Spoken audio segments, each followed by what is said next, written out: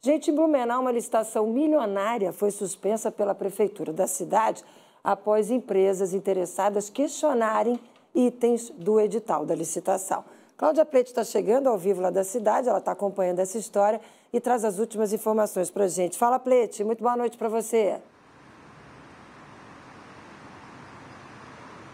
Oi, Márcia, boa noite para você e a todos que nos acompanham.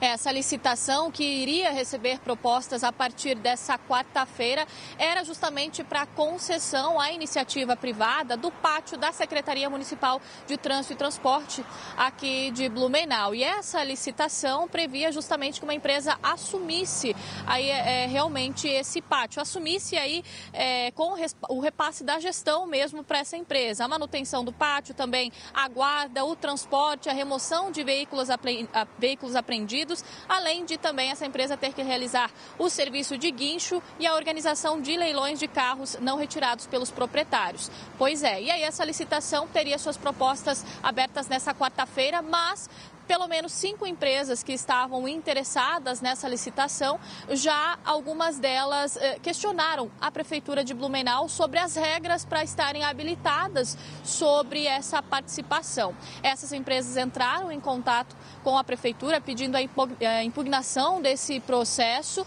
e aí elas solicitaram esclarecimentos à Prefeitura de Blumenau, que acabou cancelando essa licitação e informou que já está em contato com essas empresas para esclarecer os detalhes detalhes de todo esse edital para que elas possam ou não fazer a participação. A Prefeitura de Blumenau disse que, apesar do cancelamento, nessa semana ainda deve anunciar uma nova data para que esse edital seja realmente colocado em prática. A gente lembra que uh, esse edital ele tem o valor de cerca de 45 milhões que seriam investidos nesse pátio ao longo de 10 anos, porque são 10 anos de concessão prevista a partir desse edital. A gente deve ter uma nova data, né? Nessa semana, Márcia. Cláudia Pleite, vamos acompanhar e divulgar isso aqui para o telespectador. Licitação de valor alto, aliás, altíssima, agiu bem rápido aí o prefeito Mario Debrandes suspendendo, se tem irregularidade, vamos apurar.